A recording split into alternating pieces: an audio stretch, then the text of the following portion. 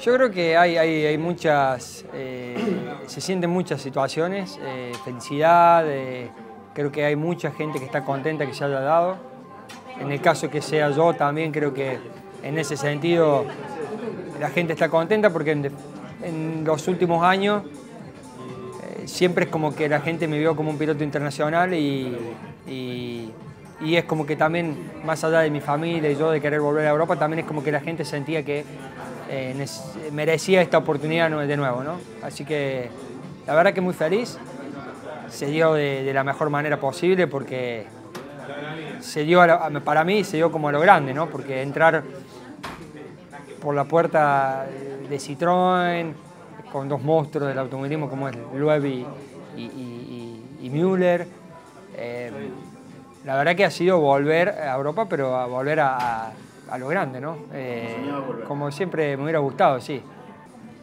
Creo que a pesar de, las presiones y las expectativas que, uno, que uno tiene siempre cuando empieza un desafío nuevo, es difícil poder separar ¿no? en ese momento y disfrutar, porque son, es mucho los nerviosismos que uno maneja y sabe que tiene que rendir también eh, al 100%. Pero las cosas que he vivido eh, dentro de mi carrera, que son poco más de 22 años dentro del automovilismo ya, eh, me han enseñado también a, vivirla de otra manera porque sé más que nadie que las situaciones no se dan siempre, las oportunidades menos. Entonces, cada momento lo, disfruté, eh, como cuando fue la primera llamada de Citroën, eh, empezando digamos, un poquito más para atrás, cuando gané la, carrera en WTCC fue muy emotivo para mí, estar en el podio con la bandera argentina. La primera llamada de Citroën para ir a probar, la verdad que para mí fue muy emotivo, me, recuerdo llamarlo, llamándolo a mi viejo, diciéndole que mira qué linda oportunidad, un equipo tan grande como Citroën que me haya llamado, habiendo tantos pilotos. Y bueno, así fue también la segunda prueba y por supuesto cuando llegó la confirmación, un gran alivio y una felicidad enorme. Desde el primer momento que empecé a intercambiar eh, mail con Citroën, eh, fue como volver un poco al, mecanismo antiguo de la Fórmula 1 cuando yo estaba, ese profesionalismo 100%. Eh, cuando pisé el autónomo de Valencia por primera vez, el profesionalismo de los ingenieros, todo muy, muy organizado. Eh, el vuelo, ya arrancando del vuelo, llegás, tu auto, tu hotel, todo diagramado. Eh, cuando te bajas del auto de carreras, los, los ingenieros te prestan total atención y, hay una relación totalmente profesional y muy seria, eh, que bueno, se separa muy bien lo que es la pista con lo que es eh, eh, la parte humana, ¿no? Por supuesto, ¿no? Pero es un poco todo más frío, ¿no? Un poco más profesional, sobre todo en la pista.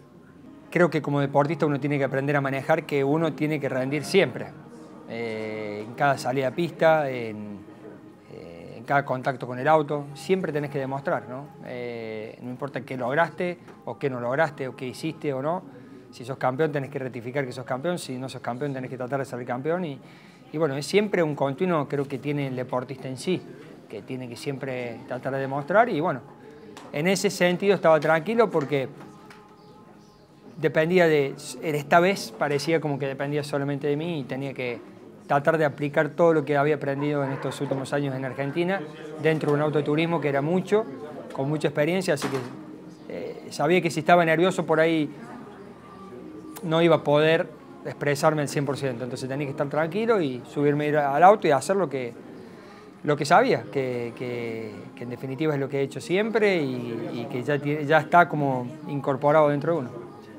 La forma que, le diría a la gente, eh, el WTCC es uno de los cuatro campeonatos del mundo que hoy existen. Está la Fórmula 1, el Rally, el Campeonato Endurance y el WTCC. Hay solamente cuatro campeonatos internacionales FIA del mundo y uno de ellos es el WTCC. Lo ven más de 45 o 50 millones de personas a nivel mundial. Eh, por supuesto están los mejores pilotos de Europa y hay muchos pilotos del mundo entero. Y hoy por hoy se suma Citroën, que dentro del automovilismo, si bien fue rally, es una marca que dominó los últimos años, con un piloto como Loeb que ganó nueve campeonatos del mundo. Así que eso, eso, esto, por supuesto, sumado a, que la categoría está cambiando de reglamento, los autos son mucho más potentes, mucho mejores que, el auto anterior. Eh, la posición en una categoría, una de las mejores categorías del mundo eh, de autos con techo. ¿no? El auto, la verdad que es muy lindo manejarlo. Disfruté cada, cada vuelta en pista, lo disfruté muchísimo. Tiene mucha carga aerodinámica, es un auto más liviano, muy, muy buena potencia, eh, mucha electrónica. Así que la verdad que siempre me acuerdo la, la primera prueba, el día después me dolía un poco, poco, el cuello, por supuesto, ¿no? que eso significa que el auto tiene una fuerza lateral mayor a la que yo estaba acostumbrado en Argentina. ¿no? Eh, así que eso, eso indica que el auto tiene una velocidad de curva muy buena. Yo creo que si hay un circuito donde voy a eh, estar más cómodo, eh, va a ser el circuito de Santiago del Estero, el de Termas de Riondo. Es el lugar donde más carreras gané dentro del Autonomismo Nacional el lugar donde gané la carrera internacional este año en el WTCC. Así que creo que bueno, eh, va a ser, va a ser mi, mi momento. ¿no?